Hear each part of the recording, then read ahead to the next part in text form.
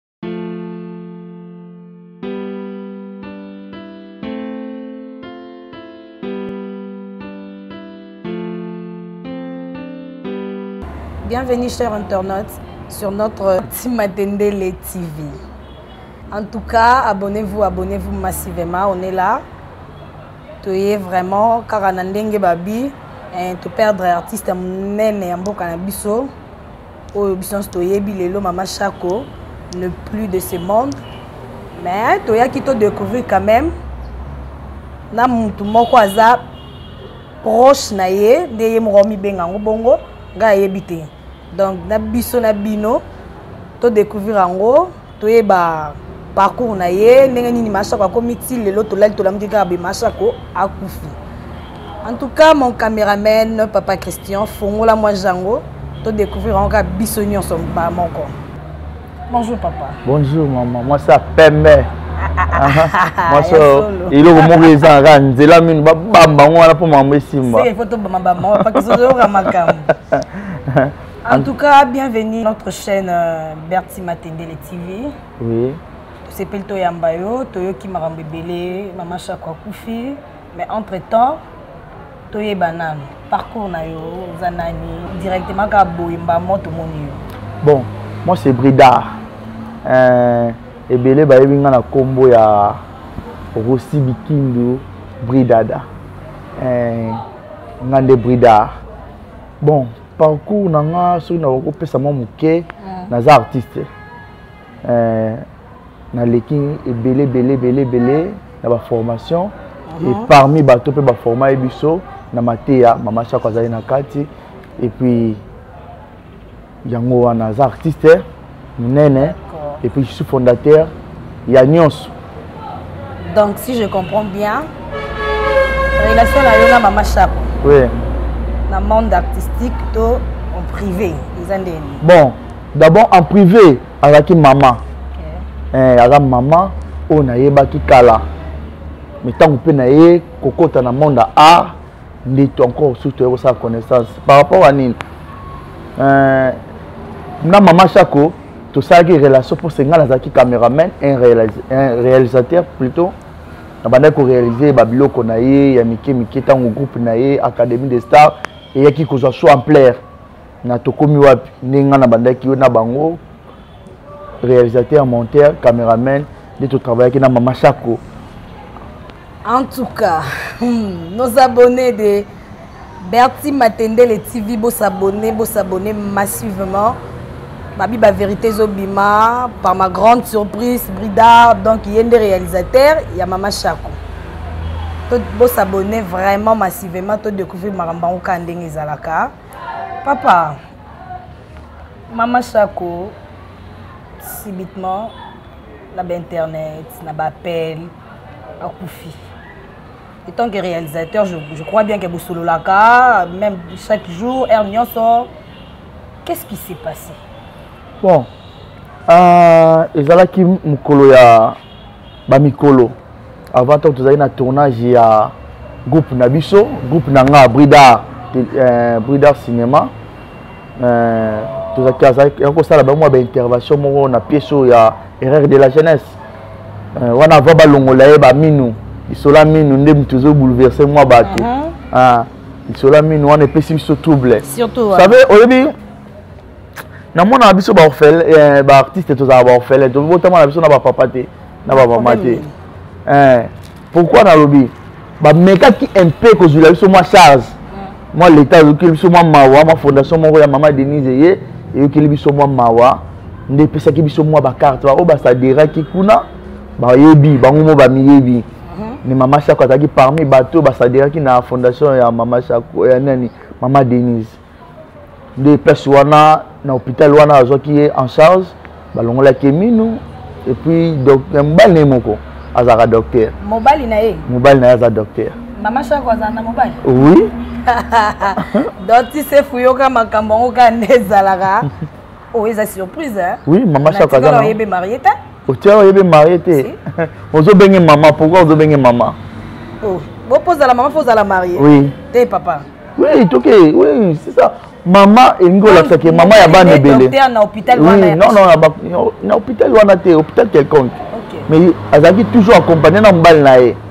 balongolaki mino epuis opération elekaki très bien azongelaki mpe batournage na ye ndenge ezalaki dernier tournage na ye oyo ngai nazalaki na ye ezalaki na épisode ezoleka wana oyo ya sika ya bango euh, epuis nde baefe eyaki kosala ye ya mpasi nde akendaki hôpital ayambamaki retard nde ekozaki ye ma makambo ebele ebele ebele meme na liwa en tout cas mokolo oyo bayebisi nga nazwi appel nga ko nazwaki ngo na whatsapp nayebi ke mare aza bien sibitima bayebisi nga na 8 heures 9 heures boye o oh, mare aza lisusu te o oh, mare aza lisusu te na ndenge nini nanga moko nazangaki nanu eloko ya koloba nde tobandi koluka kobenga nabengi eh, président eh, président ladi nzungu esobe nabengi président nayebi se président ndenge nini kuna oyo te maire adaye nabengi président ma, eh, masumu oyo te maire adaye donc voilà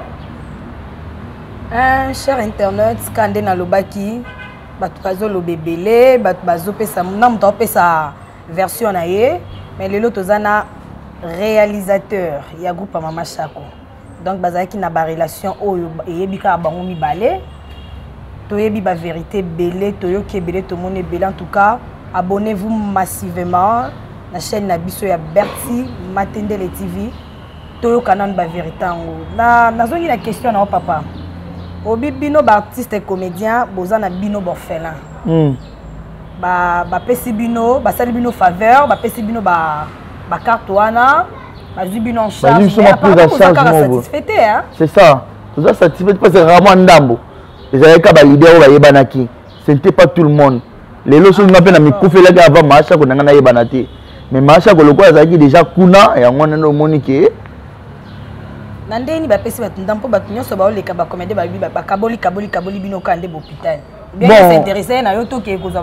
Euh, famille ya baartiste toza ebele ah. na baoyo baobotama na baoyo baza nino en tout cas mpona koyeba bango ezalaki mwa mpasi mais bango bamiyebi bazwaki déjà mwa gaz parce que fondation ebandaki koenregistre ko bato ndambu ndambu ndambu ndambu mais bango babe bapremière oyo bamizalaki nango déjà papa bridard olobi oza réalisateur ya mama chako nalingi toyeba ngai na baabone na biso ya berti matendele tv nini oyo ya mama shako oyo orealisa bon eh, bato ebele baodoute na bango eh, baodoute na bango ke boye boye boye boye parce que mama shako mpe azali na barealisateur ebele me ngai jour nazwa coup de fil ya mama shako abisi ngai yaka na réalisa ye déjà pièce moko oyo eza yo toleka avant pièce oyo akufeli nango eza euh, dossier grave oyo ezalaki idée ya, ya, ya président nani président na ye comme ne si je me trompe pas euh, kombo ekoya didier didier ah, c'est ça didier lukusa c'est ça ye mutu azalaki kolo idée nga na realisaki yango mingi na filma wana wana titre nini dossier grave ebandaki koleka na tokomi wapi eh, omoni biso na berti matendele tv tolingaka bapreuve preuve eh, tolingi te balobaki bolekisaki réalisateur mais aréalisa nini bato bamoni te kaka yo moko na ntongo moko bobimi obi oza réalisateur donc tomona mpena biloko oyo ke ntango bakoloba toyebi preuve caméra pelisa moto asikisa bi mama akobota te mpo bando bwanga na biso to mpo aboya biso akobota te biso kaka bana nde na ndako eh, nzambe merci lokola olakisa nga mosali na yo nzambe merci vraiment eh! nzambe oyo alola atalisi yo te mwana wana apelisaka moto na buku mpo nga songe na concevoir te te oyebiseli nga te yo kasi ntina ya kotika yo biblia nayaki pamba yo mpe toke epai tozonga mpo oza makasi bapeli ata solange eh? nayebisaki onga bimino naye kotikolo ya pamba te nazomona mabe bana nozomona na butu bakomaka bamama mibimba batata mibimba eh? surtout ya mwasi mwana te ya mobali kutu mwa mokie mpo oyo aza na kindoki ya mokie me oyo ya mwasi wana aza reine nyonso epesamelaka ye epesamela ye na butu amoni eloko nini ah, otuna vandaka na branli ye moko makambo ya ndako na ye ezalaka bongo te arrive ya mwana wana nde makambo donc nakomona ndako na yango échange ndako na ezalaki bongo te kasi aliaki ndoki kota azala merci na régie mpo na elema oyo bopropose biso en tout cas félicitations d'abord buda merci namoni mpenake mwa lokuta na kana oyo eza te oui. eh, toni toyeba cause ya, ya liwa mama shako eza nini ah, cause Cause oyo nga nayebi après avoir kolongola ye minu nde ememaki na liwa cause ya makasi ezalaki négligence ya hôpital c'est-à-dire hôpital erecevaki artiste eh, na retard ezalaki deya négligence bazali na considération ya mama te ah. c'est-à-dire omoni na hôpital to maladi oyo deya azalaki na fiche ah. azongeleli bino il faut boyamba ye boyeba pourquoi azongi bango basalelaki yango te bango mama akomi na 8 heures baye koyamba ye jusqu'à 15 heures e 15 heures wana koyamba ye wana ezalaki mpo mobali na ye babengaki ye ke baoyamba ye te nde eya ayaki to bamoni pwa ya, ya docteur nde bayambi mama sikoyo ntango deja bayambi mama pasi emataki ye bamutaki na pasi ya ntongo na baage wana deja minu ekomaki deya kokangama mpasi babandaki kosala ye mpo oyebi ke soki mino aliaki eloko moko boye provokaki so mpasi ayaki mpo azwa susu mwa kalma to mwa kisi balandelela ye nde soki mpasi pene emataki makasi ekomisi ye mpenza donk akomaki soki koloba te akomaki koloba na basini oh. donk yango nde cause yango makasi mpo bayambaki mama na retard na hôpital so bayambaki avant ezala eloko te epuis juske wana bapesaki ata kisi te ti ememaki ye aya kokufa donc ezalaki négligence ya hôpital étant que étant que artiste et comédien hmm. soki mama shako akomaki na hôpital wana eza mpo na ordonnance si je, je peux prononcer ça comme ça na ordonnance ya première dame mama euh, denise non donc ekarte oyo bapesaki biso parce que soki ye asiraki bango basanté ke bazwi bino en prise en charge mais soki ezalaki nango keke bopital ya boyeboyeboye banga bayamba ye mais kuna ezalaka mambo ofele yango moto ememi mambo biso na loi mambo ya ofele oyo tolingi mambo ya ofele leta asalela biso bahopital ya baartiste oyo babando yamba baartiste na valeur oyo ya bato mosusu wana bamoni ke bino oza ofele na moto aye na mbongo na moto aye ofele malgré eza nango ofele te parce que babandaki mama denise abandaki kofuta yango chef de l'état mwasi première dame abandaki kofuta mbongo na ye ya fondation ya moke te ebele mais bango banégligaki mama na biso na soin donc mama denise aza na foti te fondation mpe eza na foti te mais foti eza ya hôpital parce que baconsideraki mama na biso te c'est-à-dire mama aza mama baoyo baza kuna baza bana na ndimi te na hôpital wana soki bazala bamikolo kana bamikolo te bazalaki mpe na bana bakonsidere kwa bana mama na biso ntanga ye bozwa ye nanu botya ye nanu bakonsideraki mama shako te bayambi ye na retard epuis par force en tout cas bandeko na biso bacomédien tobona biso te gratuité kaka nde balobi gratuité mm. partout partout partout na enseignement na batat de santé na biso eza mabe te eza kaka na cadre ya ya osunga bino mais moi je pense que so okomi place moko boye omoni mpena ke malgré na ye ya gratuité bazo baosokipe na ngai bien te eyaya eh, tula musi ya zaza te eyaya eh, eza sante ti mpe ya son ame mama chako elle est partie mais nous sommes là témoignage na yo et puis basouvenir na yo na bamoment bopasa na ye bon basouvenir ya Maman Shako, eza ebele. Vous savez, nkomusu na laka mpiaka, mère abengi nga, "Allo Brida, yaka na ye." Mère alongola pena eloko mwa moke apesi nga. Mm. Donc ba souvenir na ye abandaki koteya ngai abike moto alingaka art asesakefa mpo na art mama wana asesakefa mpo na art abanda art na ye na age ya 14 ans bariska kotumba ndako na bango papa na bango abeta ye mpo na art mama oyebi soki totali tozonga bien mama wana azomerite leta apesa bango ata lopango oh. pourquoi apesa bango lopango parce que chaque abandi art na 14 ans mama papa na bango abandaki kolinga te famille etelemelaki ye babeta ye presque nu mpo na art oui baoyo euh, baolanda biso na ba mm. esika nyonso bazwami bayebaki mama sako azalaki grand grand par rapport à quoi parce que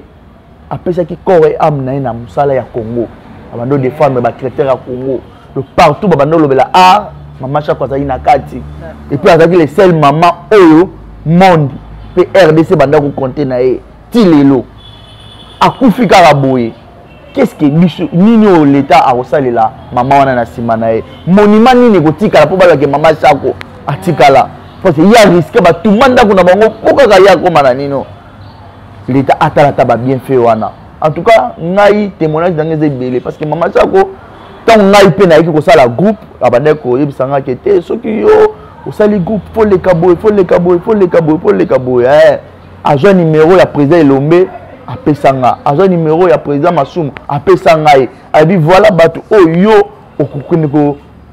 kosala contact na bango mpo ozwa mikanda ya groupe na yo okay. epuis ayaki alobi nga nalingi euh, ke naya mpe kotourne na groupe na yo nabandaki komona a ah, mama a ah, mama a ah, mama ok abandaki kobongisa ko, ko deja eloko ekotemoignage oyo ekotikala ya makasi ta mosusu mpo na nga nabandaki konéglige mais jour napesa ye chance après deux mois pese esilaki te mama adeya akufi donc erreur de la jeunesse toloba boye mama chaque ajour wana nga moko nga moko ye nazalaki mobali ne na pièce wana erreur de la jeunesse donc naza nango oyo aza na tembe soki bakopermettre biso mpe totala yango hmm, tokota ko totala yango tomona tomona dernière euh, tokoloba dernière film oui eza dernière mpona joue na brida bridar tomona yango réalisateur sara na yango ozwa responsabilité ya digne d'un homme marié et puis responsable je vois aza très joli hein merci mm. bon chacun lokola oyo osali déjà eza important mm. le reste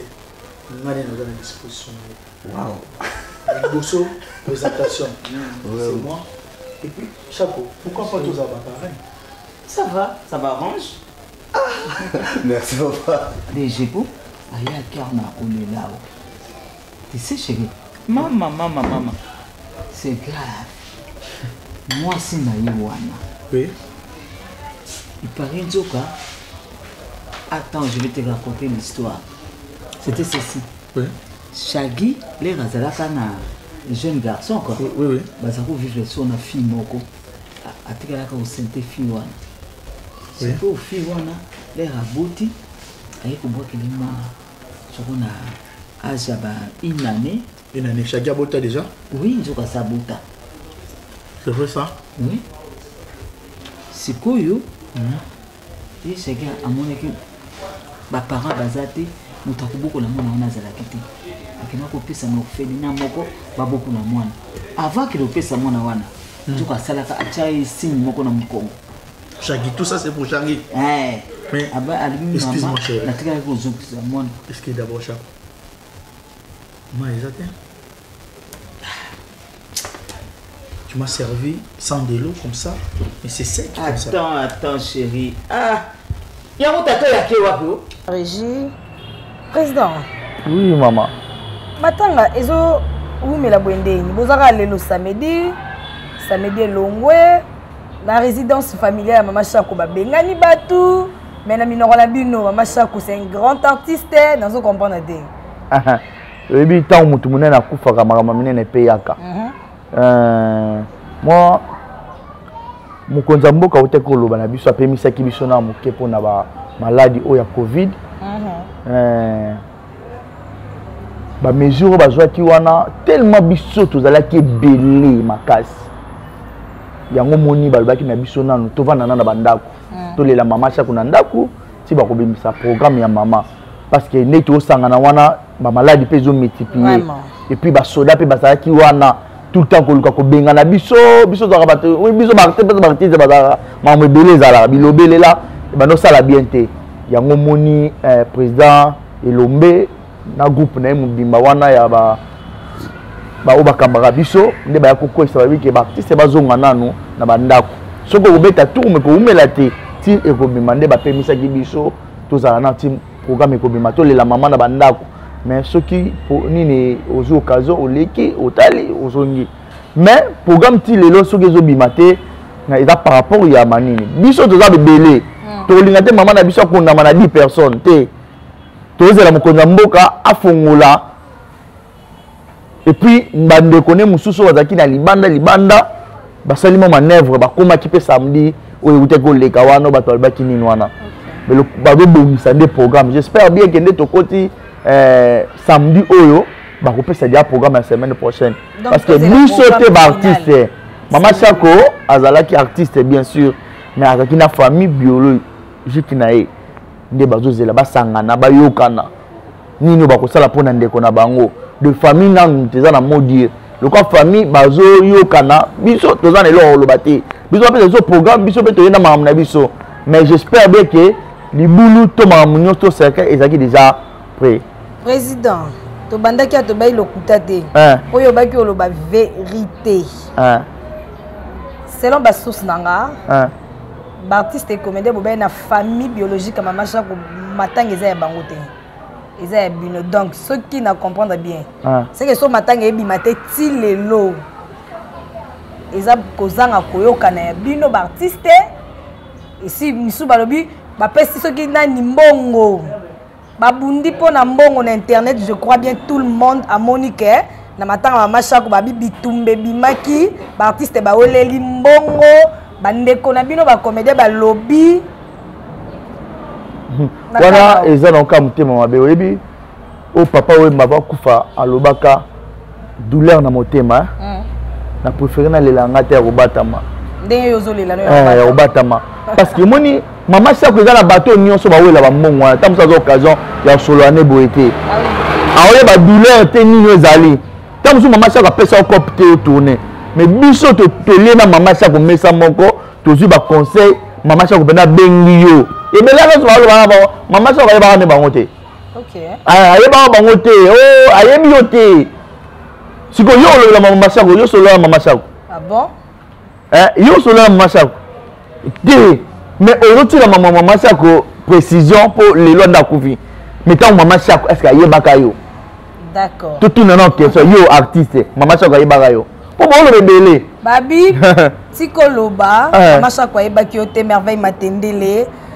toutes mes salutations et mes félicitations à toi mon ami personnel en tout cas namoni banzembo esalami fort fort fort kaka nde baloba comédien akomaka chanteur so motu na ye akufi boza tellement boleki bafali boleki bawera na musique soki bokufeli e eh, bazwi wapi tobwaka lisusu kuna bridar esali nzembo ah pourquoi pas bosanganaki kaka bino nyonso nde baloba union fait la force tosanganaka tobeta eloko yango moko tosponsorise yango ocree ocree monde na yo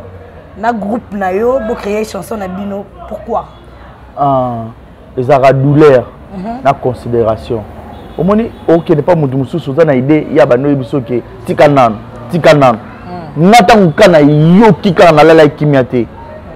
navandisi groupe nabike naoyembela mama mhm. po ti bato mosusu moni mpasi oyo ezalaka so okufeli ndeko naza de proche na moto ayoki lisolo aza ndenge moko te yo bando olala te eh. mais bango nata mosala olala na ye bien mais biso toyokaki mpasi o mama na biloko ya sika oyo atikelaki nga basouvenir na le retaki te na bi tosala nzembo lelo lelo fo tomonta yango na emontama lelo lelo totourne toke na studio tosali tosilisi lobi lobi wana totourne clip tomonta yango mpe kaka na butu tobwaki tozalaki bale premier oyo nzembo na biso esilaki epuis tala bien na banzembo wana ils ont quel message message nini baoportele biso kolela bien sûr mais eza na message mpe na kati otransmettre bato mpo balela biso toyembi oyo ezalaki na kati mais moto mosusu aoyemba yango mpo eleka bamona ye mpona mwa succès soki otala yango bien batiela biso soki nakosenga mama batiela biso nzembo wana eh. idée d'abord idée wana eza douleur donc papa na biso azoloba ke l'artiste ne meurt jamais et puis alobi ke tu restera gravé elingi oloba nini ah, te mama nzembo wana elingi oloba ke eza douleur makasi adie mama chako que ton âme repose en paix eza douleur ya makasi nzembo wana mpo mosusu alobi na ye ayembi na ye ekoleka mais tanto ando tala yango ntango kotya mpena cercle batye nzembo na biso ecompanie mpena na liwa donc nasalaki yango mpo nazalaki na douleur ya makasi asilisaki nanu kopesaka baconseil te nazalaki na mwana meme temps na ofilme ye abandaki koaprecie ngai nde nabandaki kofilme ye mais na art abandaki kozongisa ngai kaka oza kaka mwana basalaka boye en tout cas merci à toi papa christian derrière la caméra babi mosala nde mosala papa brida mot de la fin kanda eza tokomi na suka toyeba programme ya groupe na yo namoni bandeko na nsima baza telema ebele mpe tozalaki bozalaki en pleine répétition tokoti ondimi quand même koyamba biso kati nano sali nao mwa pause programme ya groupe eza ndenge nini bon euh, soki nga réalisateur nakomobima boye mpo hmm. nalinga nanga komibimisa te soki nakomobima boye eza cause ya bilobela ya bato mhm. euh, yo omontaka kaka yo moko ozalaka te eh. Eh, babi otika muna muna mosala na ye Ah oui. Tika nous kaka pe réalisateur et c'est ça il autre. Oui, cause la réalisateur c'est bon mais na makila a. OK. Tout ça makila a. Omoni tant on filmé loko ngamu ke utala mutema na na sala ngo ke na opesa mutu. Moi papa Christian nenga za wana. So na ebisi nenga filmé nga wana. Tant musa olinga ko filmé nga mona olinga ko mi filmé te. Faut na pesa ye loko nga na linga po ya sala ngo bien. OK. okomprendre neti ye alingaka yo oyebaka abendaka yo ata mwa lidodo wana mais aosala yango te po abendaka yango azumaka yango esalaka bien donc oyo eza groupe brida groupe cinéma brida elingi oloba nini esika baartiste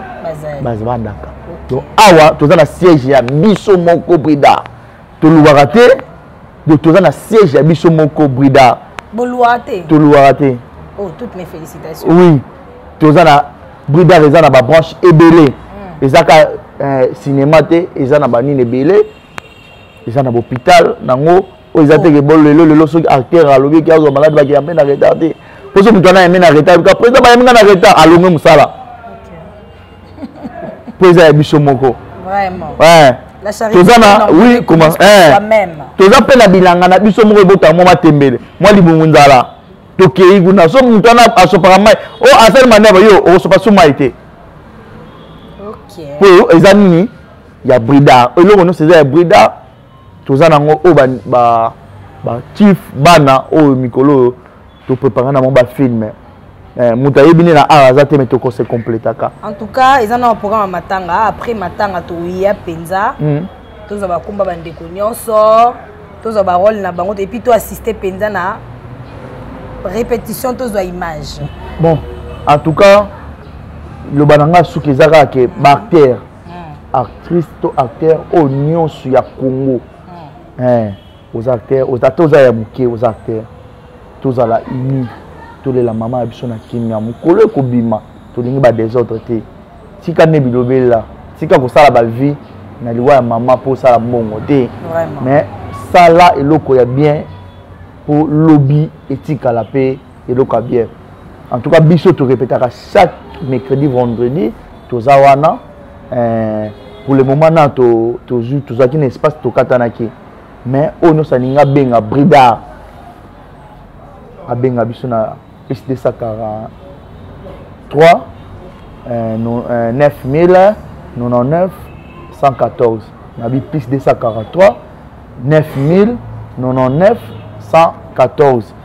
e, na kobosana te kopesa nano papa christian mbote oyo azwi nga bilili na remercie yo mama e, nakozala ingra te na kopesa président lums mbote na kopesa e, papa jonathan mbote e mwasi na ngai oyo nalingaka mingi pamela mokoko napesi ye mbote e, aotobotela ngai mwana moko ya mwasi bebe oyo akozala journaliste lokola yo ah bon? ah, hein? Eh? j'espère bien bamipesa ndoye epesa makambo ezalaka bongo en tout cas un grand merci à toi bm berti matendele pirser pirbos ezalaka kaka bongo batraitaka na bapetit babimisaka kaka on ne sait jamais okay. merci na équipe technique euh, derrière la caméra je vois christian soumaili et roger matadi ah, babi bosabone bosabone massivement programme nyonso matanga okuta yango kaka awa na berti matendele tv on est là au revoir